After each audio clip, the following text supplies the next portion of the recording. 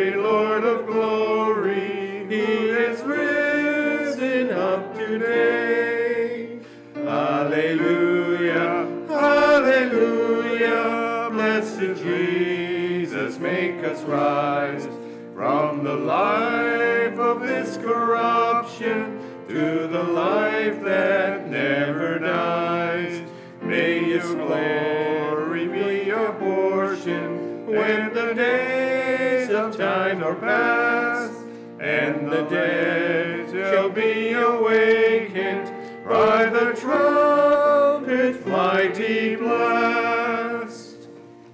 In the name of the Father, and of the Son, and of the Holy Spirit. The grace of our Lord Jesus Christ, the love of God, and the communion of the Holy Spirit be with you all. Good evening.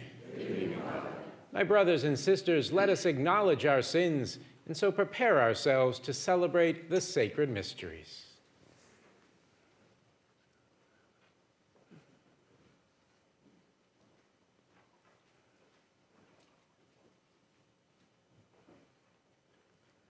Lord Jesus, you raise us to new life. Lord, have mercy. Lord, have mercy.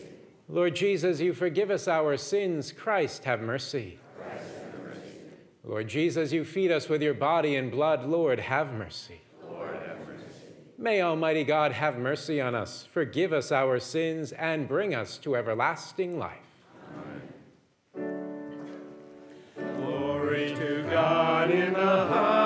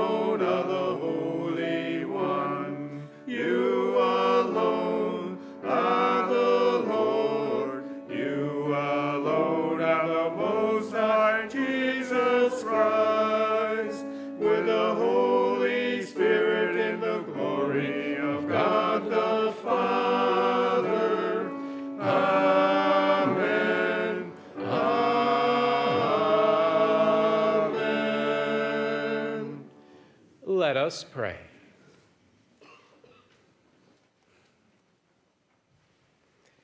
May your people exult forever, O God, in renewed youthfulness of spirit, so that rejoicing now in the restored glory of our adoption, we may look forward in confident hope to the rejoicing of the day of resurrection. Through our Lord Jesus Christ, your Son, who lives and reigns with you in the unity of the Holy Spirit, one God forever and ever. Amen.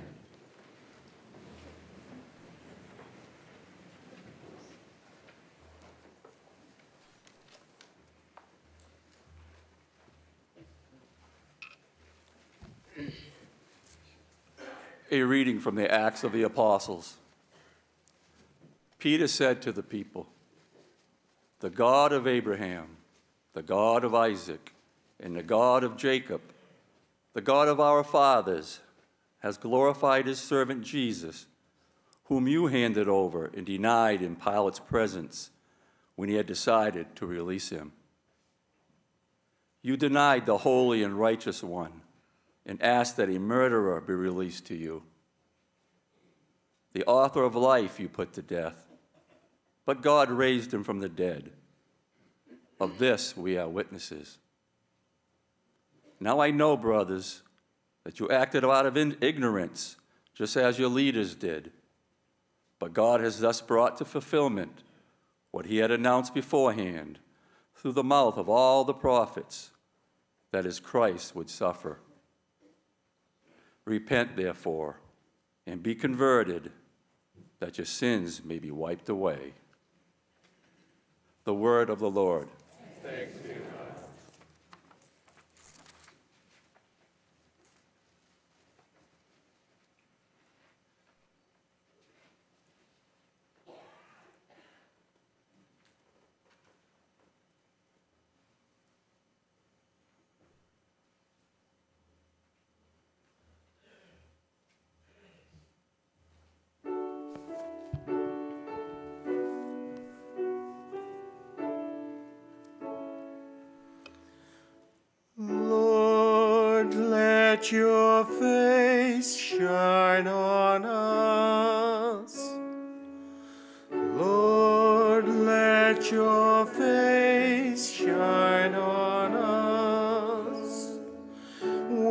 I call, answer me, O my just God, you who relieve me when I am in distress.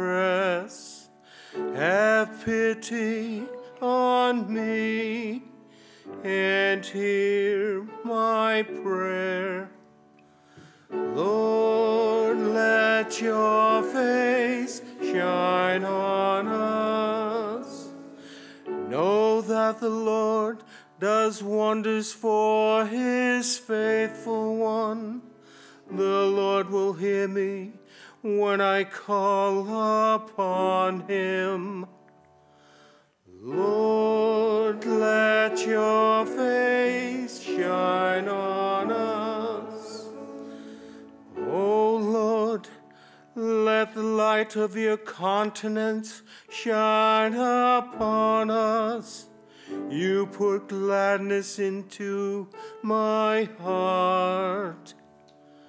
Lord, let your face shine on us. As soon as I lie down, I fall peacefully asleep. For you alone, O Lord, bring security to my dwelling. Lord, let your face shine on us.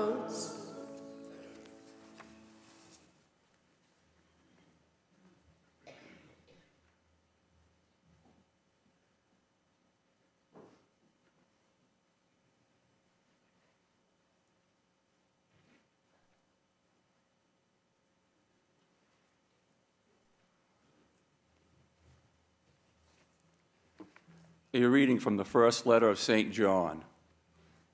My children, I am writing this to you so that you may not commit sin.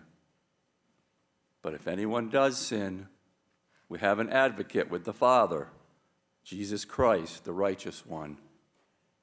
He is expiation for our sins, and not for our sins only, but for those of the whole world.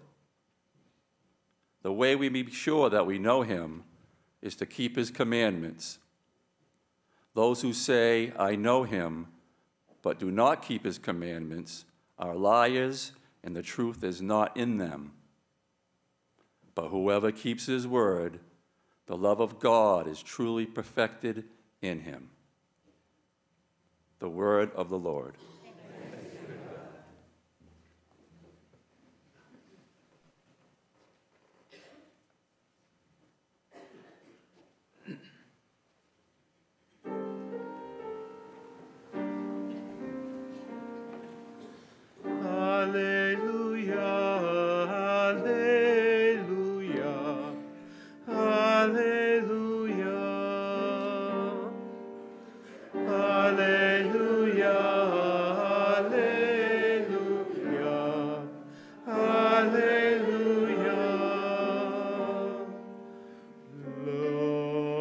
Jesus, open the scriptures to us.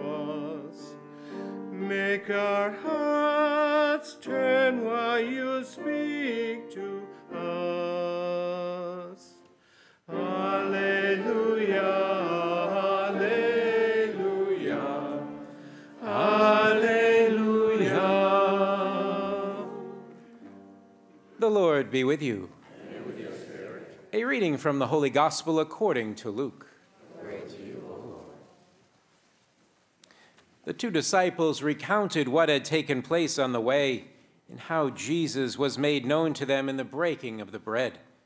While they were still speaking about this, he stood in their midst and said to them, Peace be with you. But they were startled and terrified and thought they were seeing a ghost. Then he said to them, why are you troubled?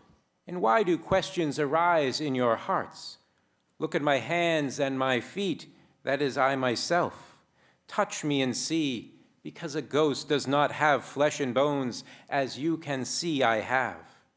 And as he said this, he showed them his hands and his feet.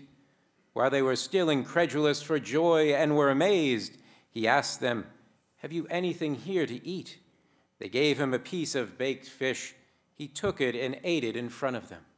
He said to them, These are my words that I spoke to you while I was still with you, that everything written about me in the law of Moses and in the prophets and Psalms must be fulfilled. Then he opened their minds to understand the scriptures, and he said to them, Thus it is written that the Christ would suffer and rise from the dead on the third day, and that repentance for the forgiveness of sins would be preached in his name to all the nations, beginning from Jerusalem. You are witnesses of these things. The Gospel of the Lord.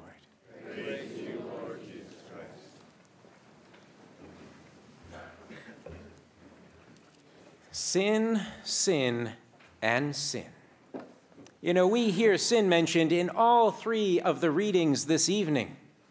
And if you were raised in the church in the days prior to Vatican II, and even in the years after that, up until the turn of the century, it would not be uncommon to hear about sin.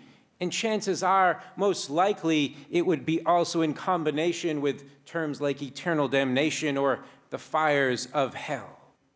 You know, this fear would be instilled in people in hopes that they would then avoid evil and do good.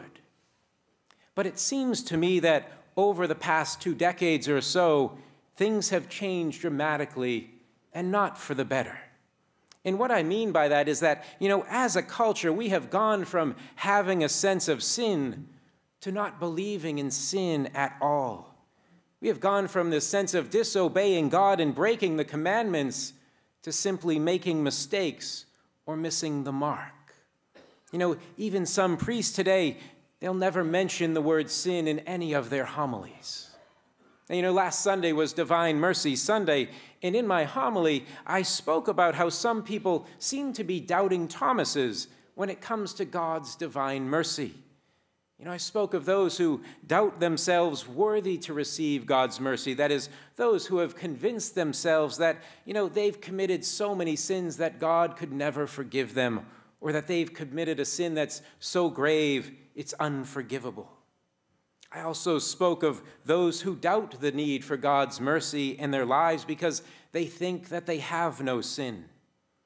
And I mentioned in my homily that, you know, I was convinced that there was this great doubt in God's divine mercy because for almost two years now I've been preaching about God's love. I've been preaching about God's mercy, about our sinfulness and the need for confession, about the permanence of heaven and hell, and yet still the number of people who come to confession to come to bathe in the love and mercy of God is still so small.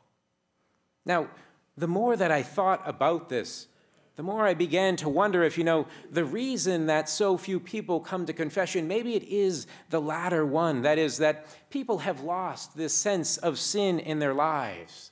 And I'm not just talking about the people in Corpus Christi Parish, I'm talking all over the world. I mean, it's not uncommon to hear people say of themselves or about someone else, well, you know, I'm a good person, or they're a good person. But what is really being said here? You know, what does this mean on a deeper level? What would be that makes us think that this person is somehow bad in the first place, that we need to be told that they're actually good? You know, is it that people associate sin with being a bad person? Therefore, if we think we sin, then we think that somehow we're bad. You know, if this is the mindset, mindset, then it makes total sense that we would eliminate the idea of sin in the world. It makes sense that we've lost a sense of sin in our lives. Because if we tell ourselves that there's no longer sin, then we can no longer think of ourselves as sinful people. Therefore, we no, we no longer can think of ourselves as bad people. We can all be good people who occasionally or often simply miss the bark and make mistakes. But you know, here's the thing about that that is a faulty way of thinking. You see, sin is not, me, is not about being a bad person or a good person. And this is not to say that, you know, there are not sinful people who are bad, because clearly there are. But at the same time, there are also sinful people who are good. I mean, every one of us here are sinful people. And I'm willing to bet most, if not all of us, are good people. You know, there are people who, though they were sinners when they walked the face of the earth, are now numbered among the saints in heaven. And so, if this is the case, if sinners can then be both bad and good, then maybe that's not what sin is really all about. You know, the Catechism of the Catholic Church, it defines sin as an offense against reason, truth, and right conscience. It's a failure in the genuine love for God and neighbor that's caused by this perseverance of attachment to certain goods. Or as St. Augustine defines it more simply, he says, Sin is any thought, word, or deed that goes against the law of God. You know, nowhere in these definitions does it talk about the person being good or bad. And that's because that's not what sin is about. I mean, yes, sin is bad in itself, but sin really, at the root, it comes down to relationship. It's about our relationship with one another, that is, with our neighbor. But more importantly, it's about our relationship with God. And so, sin that persevering or that perverse attachment, that thought, that word, that deed that is in contradiction to the love and will of God. And so when we do this, it becomes this barrier that separates us. It becomes this wedge that's driven between us and God. That's what sin is. So if we recognize and acknowledge our sinfulness, if we bring it to Jesus in the confessional, then he himself can then remove that wedge. He can knock down that wall that we have built up between us and God. He can restore our relationship with our Father and make it whole again. You know, understanding and admitting that we are sinners acknowledging our sinfulness, these are actually great blessings. You know, it's a grace from God when we can see our sinfulness and then feel the need to confess it. So much so that we should actually thank God for this grace every single day of our lives. And you know, if you don't have this grace, if you don't see your sinfulness, then ask God to give you the grace.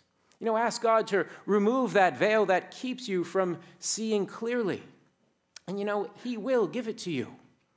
Now, if by chance God takes his time in giving you this grace, I suggest that maybe you go find a close family member, a spouse, a brother, or a sister, as I am more than certain they will help to remove that veil and help you see your sinfulness. That was a joke. but in all seriousness, you know, the more that we recognize and acknowledge our sins and confess them, the more that we will recognize that, you know what? I can be a good person who just happens to be a sinner. And so, the more that we confess our sins, the more then that we begin to recognize and realize our weaknesses. And so we come to understand that we have a need for a Savior. And you know, the more that we understand the need for a Savior, the closer we'll draw to Jesus Christ. Because then we'll begin to see more clearly and thus appreciate more exactly what it is He's done for us. And so our gratitude, it will grow. Our relationship with God, it will continue to deepen. And all of this happens by admitting and confessing our sins. I mean, think about it. It's like any other relationship we have. You know, if there is a wedge driven between us and someone else, whether it be the wedge of a differing opinion, the wedge of an unresolved argument, or even the wedge of something that is sinful, that wedge is going to remain in place until it's discussed. It's going to remain in place until it's worked out and thus resolved. You know, simply ignoring the issue and trying to trick ourselves into believing that it doesn't exist or that it's not real, it's not going to make that situation go away. It will not bring the relationship closer. In fact, by ignoring it and by not admitting the problem, it could actually cause that wedge to be driven even deeper, and thus preventing our relationship from growing. Or even worse, it could result in that relationship ending. And so the same thing holds true regarding sin and our relationship with God. You know, ignoring it, pretending that it doesn't exist, convincing ourselves that we don't have sin, that's not the answer. If we want to be set free, if we want to remove those obstacles to our happiness, if we want to be in right relationship with God, if we want to become a saint, then we need to find the sin in our lives and we need to give it to Jesus. And not just in the privacy of our own homes when we pray, but in the confessional. Because it's in the confessional that Jesus takes our sins away, but in place of them, he gives us his sanctifying grace. My brothers and sisters, the greatest saints in the world considered themselves to be the greatest of sinners. That is, they recognized their sins and they saw how that they became wedges, they became these barriers between them and God. And thus it would keep them from having that intimate relationship with our Father in heaven. So they did what they could to eliminate that.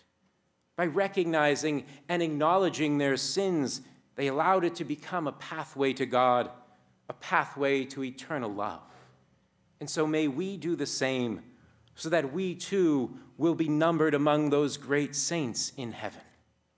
And so this week, let us all take some time and really honestly look at our relationship with God. You know, what are the wedges that we have driven into that relationship? What are the walls that we've put up over the years? What are our sins? And to help with that, ask you, go find a crucifix. You know, if you have to, take it down off the wall in your home and hold it in your hands. You know, may we let our eyes gaze upon the wood of the cross. You know, let our fingers trace the outline and feel the roughness of the wood. Let our eyes fall upon the bruised and bloodied body of Jesus. Let our fingers touch the nail marks in the pierced side of our Lord. Because it's for our sins that Jesus was nailed to the cross. It's for our sins that he gave up his spirit so that he could restore that right relationship with us to our God and Father in heaven. So when we look upon the crucifix, may we see our sins and what it does, but may we also see the love and mercy of God, which is greater than any sin and triumphs over all. You know, the crucifix is the place where sin and love come together. And that's because sin is real, sin exists, and we are all guilty of it.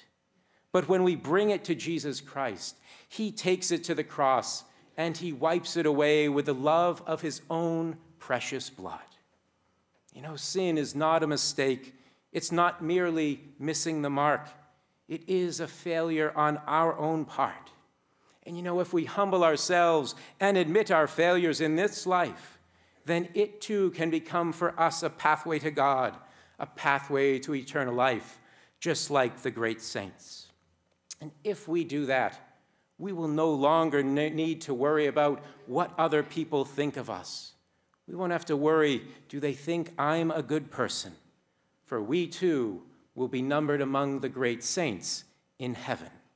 And this is what happens when our sin is united to the love of Jesus Christ on the cross.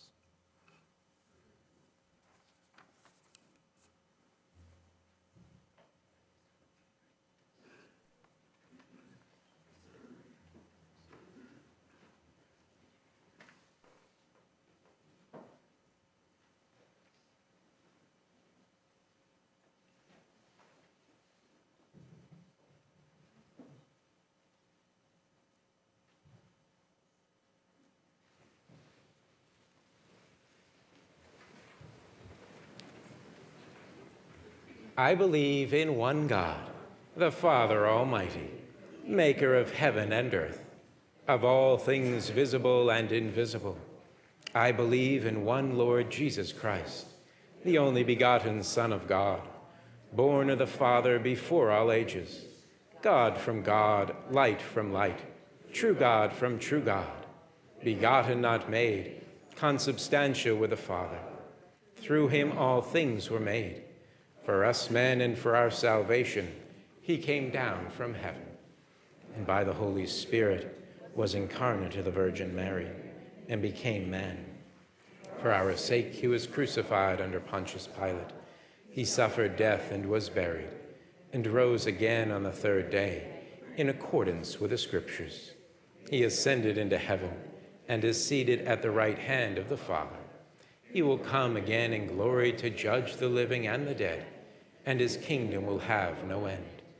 I believe in the Holy Spirit, the Lord, the giver of life, who proceeds from the Father and the Son, who with the Father and the Son is adored and glorified, who has spoken through the prophets. I believe in one holy Catholic and Apostolic Church. I confess one baptism for the forgiveness of sins and I look forward to the resurrection of the dead and the life of the world to come. Amen. Our risen and glorified Savior intercedes in our behalf before our Father in heaven. Let us now join our prayers to his. That the church be ever thankful for the gifts of the earth and the graces that flow from the real presence of Christ. We pray to the Lord. Lord, hear our prayer for an increased awareness among our young people of the closeness of the Lord in their vocation discernment in the responsibility to recognize and follow him. We pray to the Lord. Lord, hear our prayer. The government leaders revere the sanctity of life from conception to natural death. We pray to the Lord. Lord, hear our prayer. That the unemployed and the underemployed be comforted by God, who knows all need and the longings of their hearts. We pray to the Lord Lord, hear our prayer. that the members of this congregation, united in love and service, be perfected in the love of God. We pray to the Lord Lord, hear our prayer.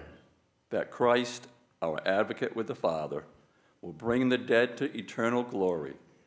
May their souls and the souls of all the faithful departed, through the mercy of God, rest in peace.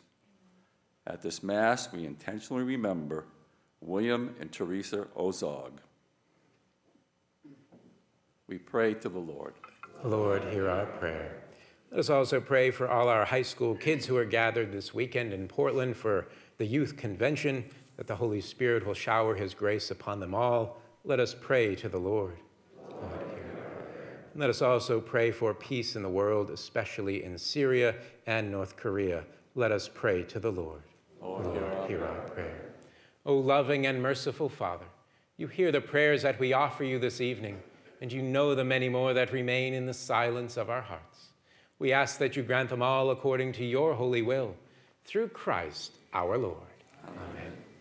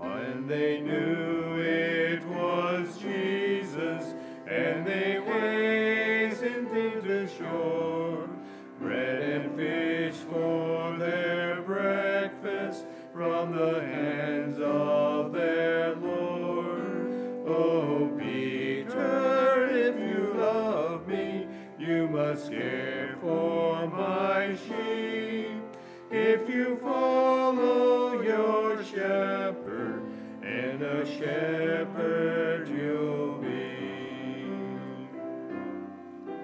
When the road makes us weary, when our labor seems but lost, when the fire of faith weakens and the eye seems the cause, let the church. Turn to its risen Lord, who for us bore his cross, and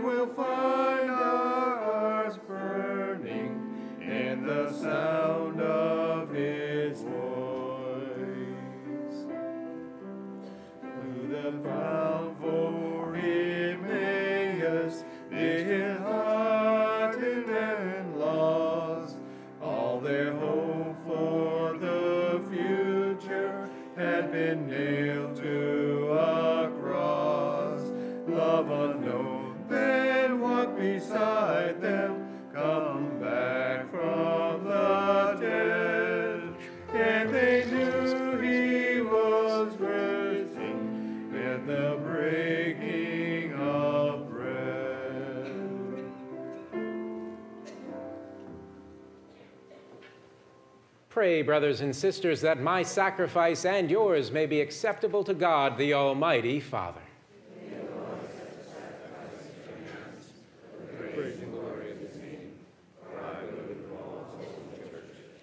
Receive, O Lord, we pray, these offerings of your exultant church, And as you have given her cause for such great gladness, grant also that the gifts we bring may bear fruit in perpetual happiness. Through Christ our Lord. The Lord be with you.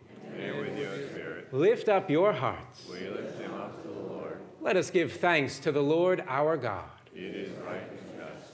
It is truly right and just, our duty and our salvation, at all times to acclaim you, O Lord, but in this time above all, to laud you yet more gloriously when Christ our Passover has been sacrificed. For he is the true Lamb who has taken away the sins of the world. By dying, he has destroyed our death, and by rising, restored our life. Therefore, overcome with paschal joy, every land, every people exults in your praise, and even the heavenly powers, with the angelic hosts, sing together the unending hymn of your glory as they acclaim. Holy,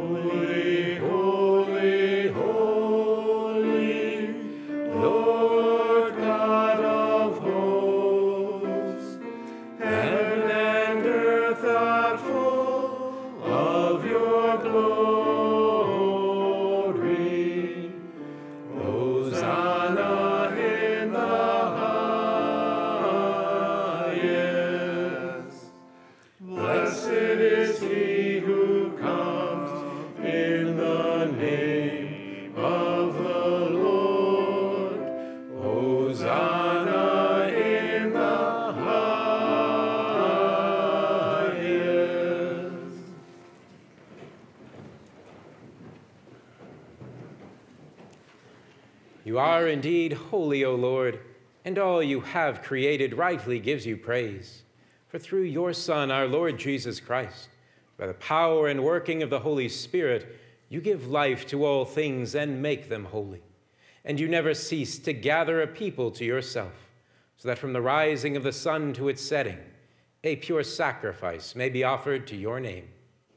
Therefore, O Lord, we humbly implore you, by the same Spirit, graciously make holy these gifts we have brought to you for consecration, that they may become the body and blood of your Son, our Lord Jesus Christ, at whose command we celebrate these mysteries. For on the night he was betrayed, he himself took bread, and giving you thanks, he said the blessing, broke the bread, and gave it to his disciples, saying, Take this, all of you, and eat of it. For this is my body, which will be given up for you.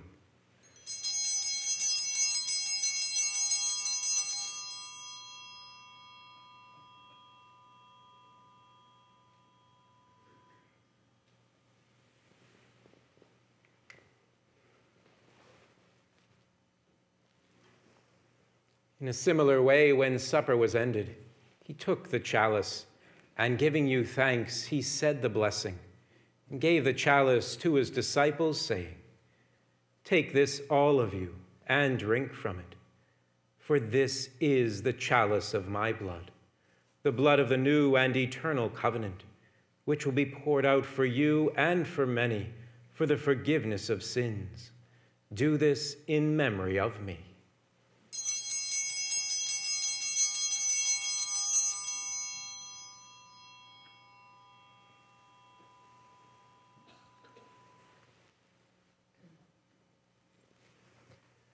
The mystery of faith.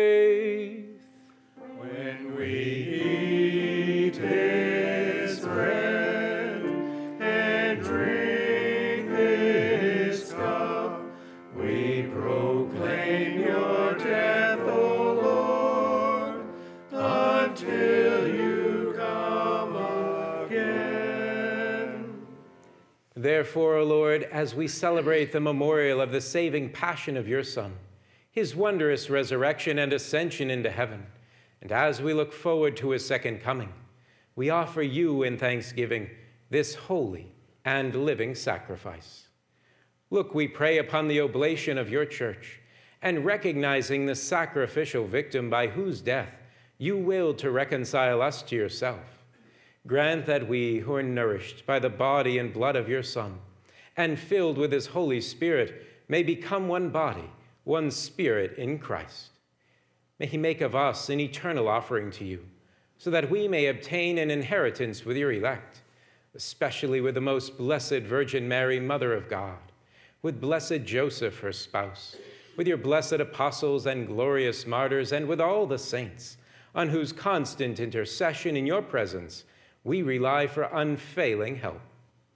May this sacrifice of our reconciliation, we pray, O Lord, advance the peace and salvation of all the world be pleased to confirm in faith and charity your pilgrim church on earth, with your servant Francis, our Pope, and Robert, our Bishop, the order of bishops, all the clergy, and the entire people you have gained for your own.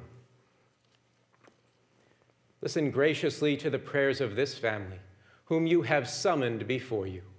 In your compassion, O merciful Father, gather to yourself all your children scattered throughout the world to our departed brothers and sisters, and to all who are pleasing to you at their passing from this life, give kind admittance to your kingdom. There we hope to enjoy forever the fullness of your glory. Through Christ our Lord, through whom you bestow on the world all that is good. Through him and with him and in him, O God Almighty Father, in the unity of the Holy Spirit. All glory and honor is yours forever and ever. Amen.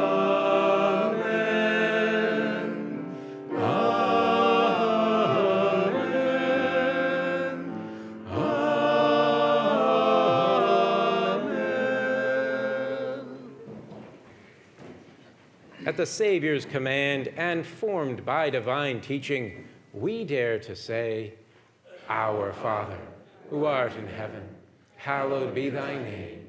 Thy kingdom come, thy will be done, on earth as it is in heaven. Give us this day our daily bread, and forgive us our trespasses, as we forgive those who trespass against us. And lead us not into temptation but deliver us from evil. Deliver us, Lord, we pray, from every evil. Graciously grant peace in our days, that by the help of your mercy we may be always free from sin and safe from all distress, as we await the blessed hope and the coming of our Savior, Jesus Christ.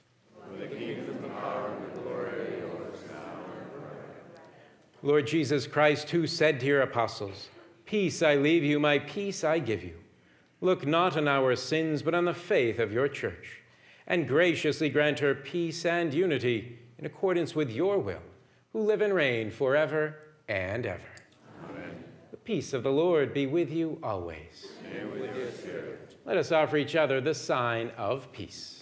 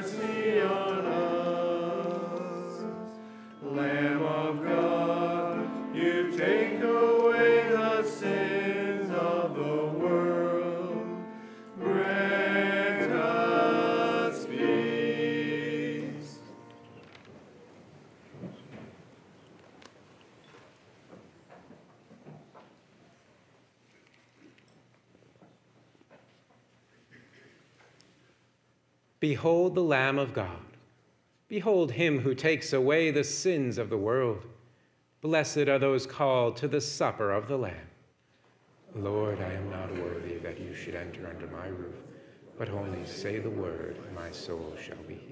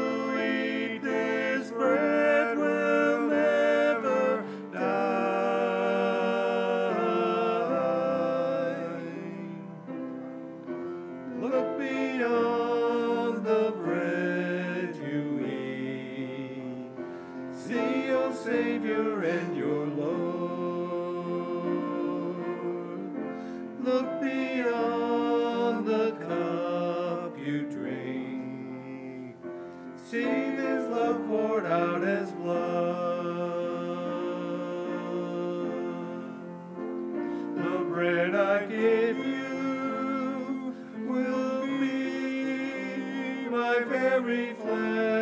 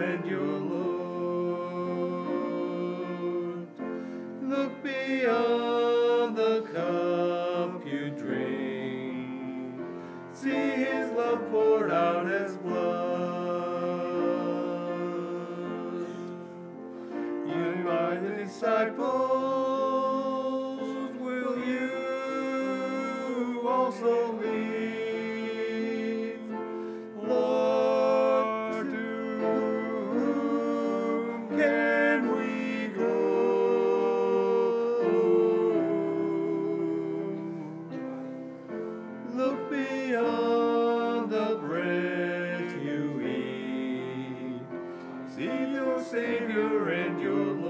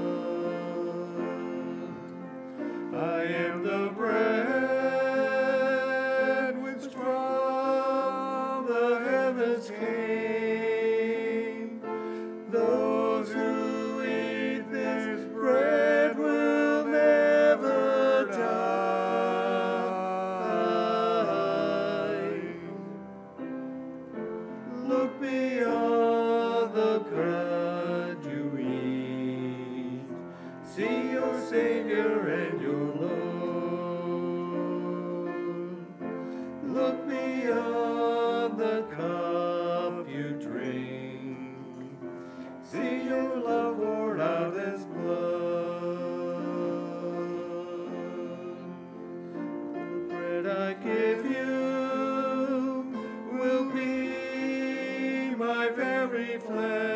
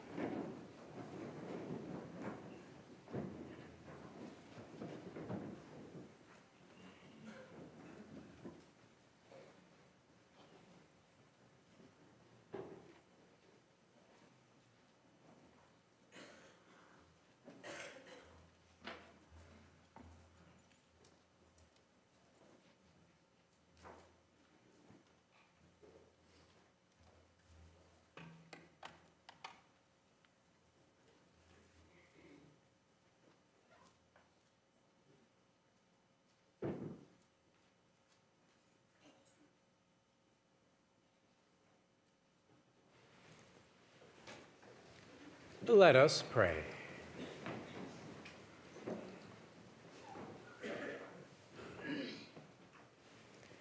Look with kindness upon your people, O Lord, and grant, we pray, that those you are pleased to renew by eternal mysteries may attain in their flesh the incorruptible glory of the resurrection through Christ our Lord.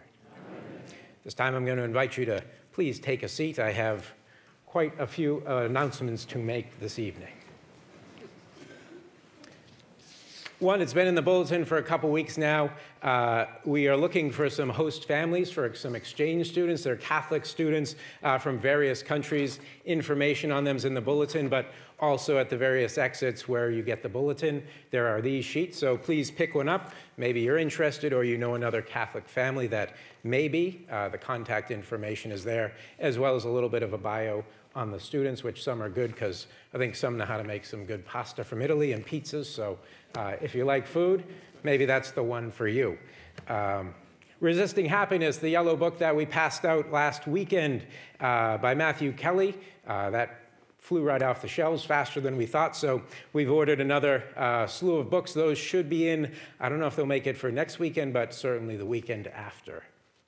Um, let's see, what else? Also, we are going to have a parish mission this year. So, uh, May 14th and 15th, mark it on your calendars here at Notre Dame. Uh, we're bringing in Catholic speaker Ken Yasinski from Canada.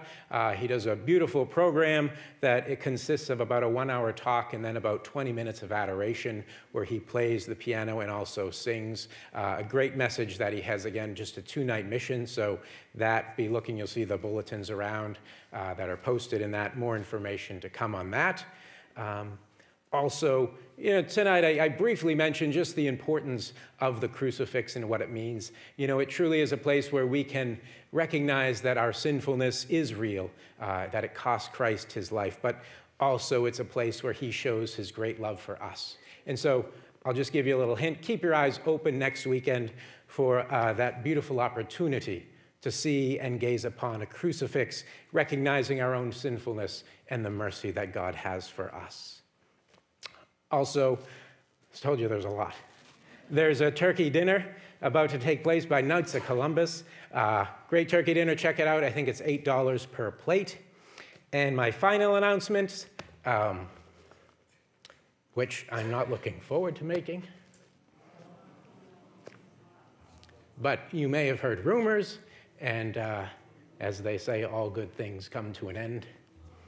So I did receive a call from Bishop Deeley, and I will be uh, reassigned to the parishes in Lewiston, Sabattus, and Lisbon Falls at the end of June. So, uh, yeah, it's, it's hard. Uh, I've fallen in love with all of you. Um, it's been an amazing time here. Uh, beautiful first, first uh, experience as a priest. So uh, you have a place in my heart for eternity. Uh. Yeah, I don't know what else to say.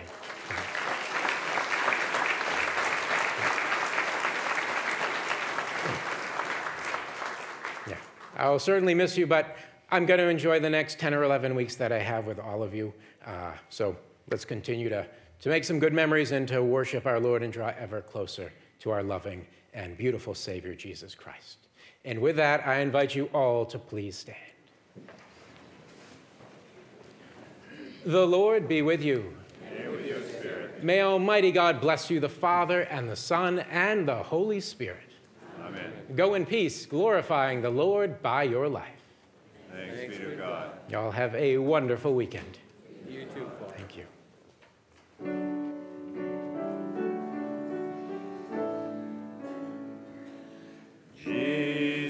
Is risen, let us sing.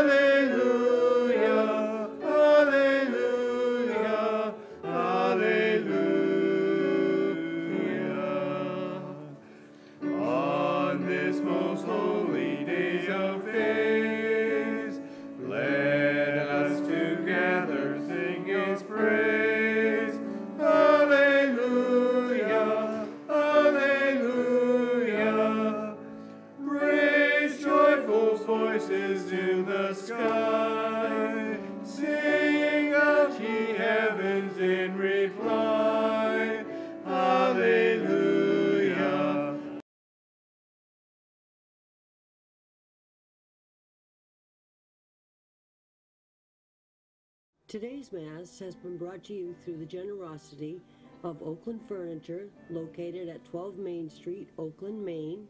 Like LB always says, Oakland Furniture. Nobody does it better. Lawry Brothers Funeral Homes, located at 107 Main Street, Fairfield, Maine. Get a great deal on a dependable vehicle that meets your needs and fits your budget.